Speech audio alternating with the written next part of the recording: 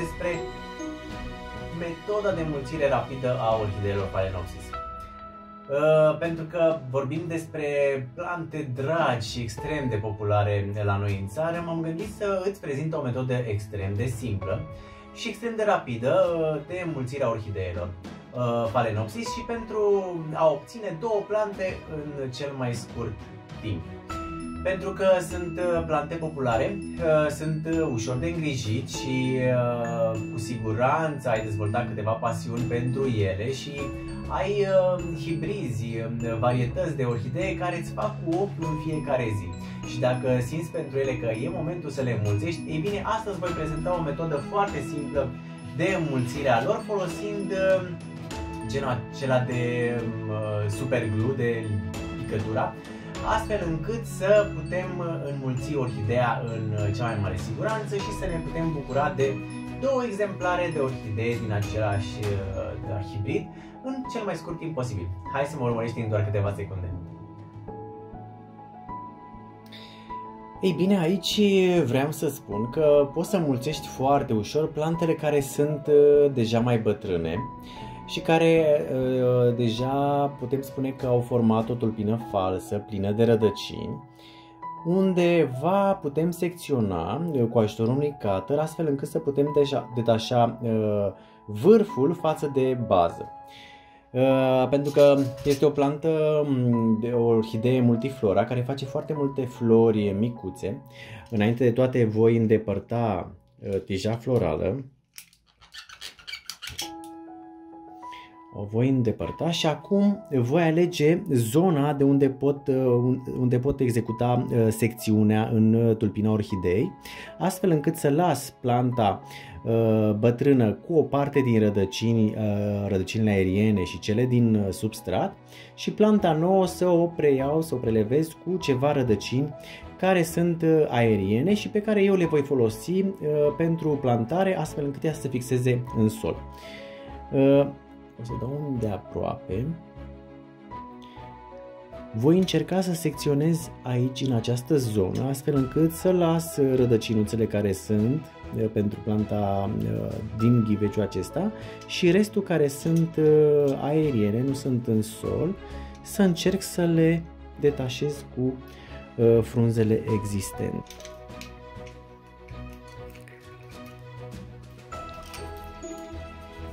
E, am reușit să o detașez. Acum am și o parte din rădăcinuțe, din păcate voi renunța la ele. Așa. Și aceasta va fi noua plântuță pe care o voi replanta într-un uh, ghiveci nou și voi asigura condițiile astfel încât să poată să evolueze foarte, foarte bine.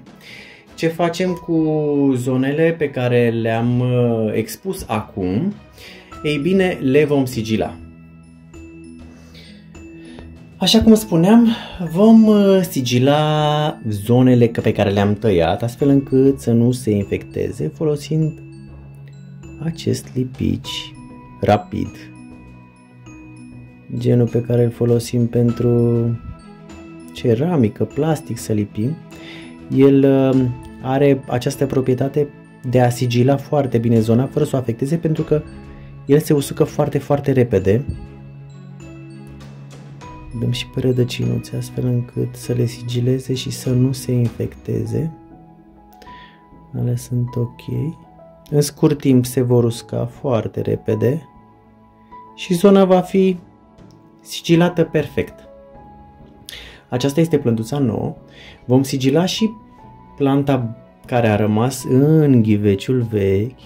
Poate mă întrebați, sau cu siguranță mă întrebați, ce se întâmplă cu ea dacă nu mai are vârf de creștere. Ei bine, aceste plante nu vor face altceva decât să formeze un cheichi bazal, pentru că are suficientă putere, acestea sunt uh, rupte, n-are rost să le mai sigilez, mă rog, le voi, le voi scoate de aici, dar este important să, să sigilăm coletul acesta pe care l-am secționat foarte, foarte bine, astfel încât să nu fie o poartă de intrare pentru agenții uh, patogeni.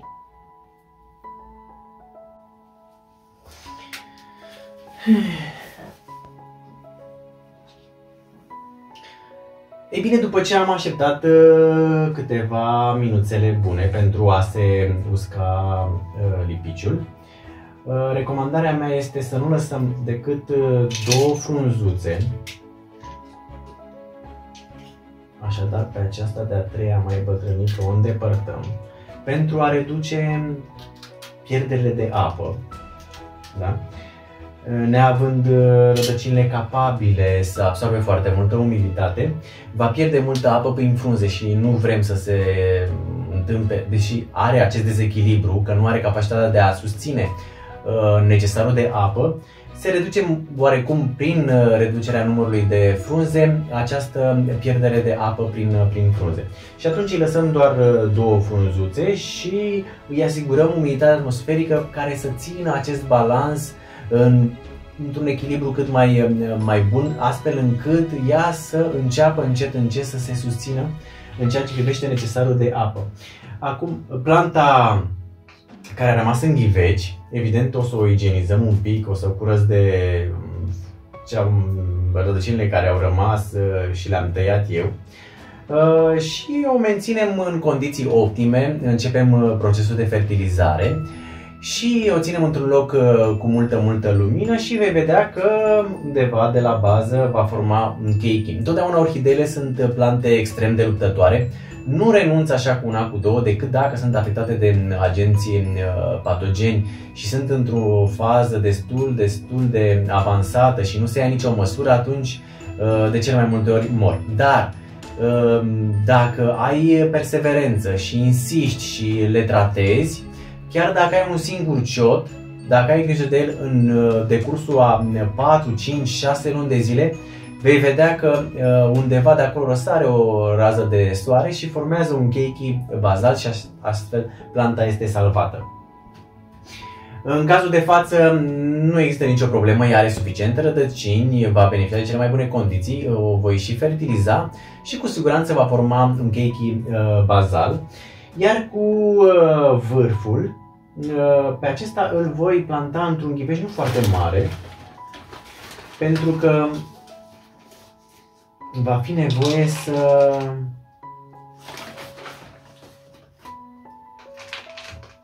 va fi nevoie să-i pun și un, uh, un clopot deasupra, astfel încât să aibă umiditatea de care ea are nevoie.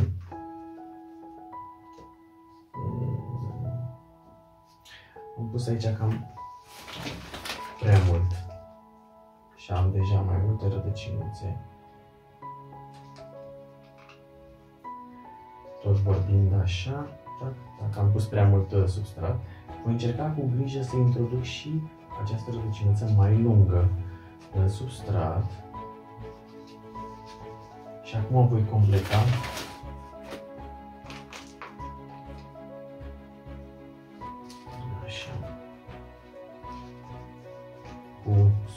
scoarță. Îți recomand o scoarță care să nu fie un materie organică extrem de mult descompusă. Să fie destul de aerată și să nu fie așa compactă la nivelul rădăcinilor.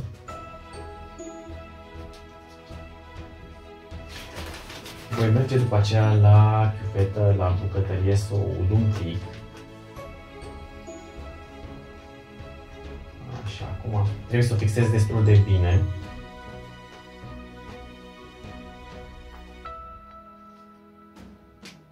Arată foarte bine. Rădăcinuța am încorporat-o destul de bine. Voi merge să o ud, să se umecteze foarte bine scoarța. După care îi voi pune acest clopot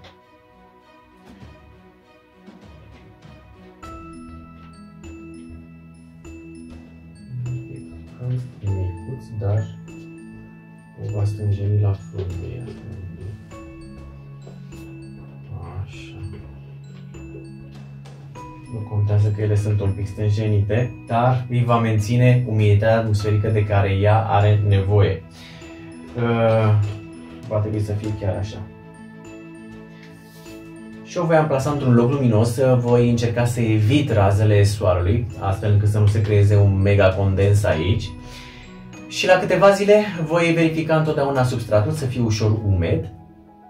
Uh, deschid și acest clopot pentru a intra aerul, pentru a evita supracondensarea, dar în același timp e nevoie să se creeze acel efect ca de seră, astfel încât uh, să nu sufere de un deficit de umiditate atmosferică. Și vei vedea că foarte, în foarte scurt timp, uh, în ceea ce privește vârful, uh, în circa 2-3 luni, voi vedea și primele semne, frunza din mijloc care va crește și îmi va spune că deja ea este pe picioare proprii și că poate evolua destul de frumos. Uh, ceva mai mult uh, voi aștepta la uh, cea veche, uh, de la care am spus că aștept un keiki bazal. Și uite așa, în foarte scurt timp, eu uh, mi-am putut multiplica o plantă bătrână, dar uh, de care nu vreau să mă despărțesc, despart, pardon, pentru că este uh, cu flori foarte faine, aș, așa cum spuneam, este genul acela multiflora, cu multe floricele uh, mici și uh, extrem de colorate. Sper că ți-am uh, ți-am uh, stărit interesul și ție să-ți înmulțești orhideele. Este o metodă destul de simplă și uh, riscul ca ele să se îmbolnăvească este destul de redus pentru că uh, în momentul tăierii am sigilat uh, zona de, uh, prin care eu am intervenit, acea incizie și atunci riscul uh, ca planta să fie afectată de ceva agenți patogeni este extrem de redusă. În primăvara aceasta sper că ți-am dat uh, încă o operațiune de lucru, uh, să-ți înmulțești orhideele printr-o variantă extrem de ușoară. Eu îți mulțumesc pentru vizionare, nu uita să te abonezi la canalul meu de YouTube uh, Carlin Marian și să ne revedem cu bine data viitoare cu un nou episod.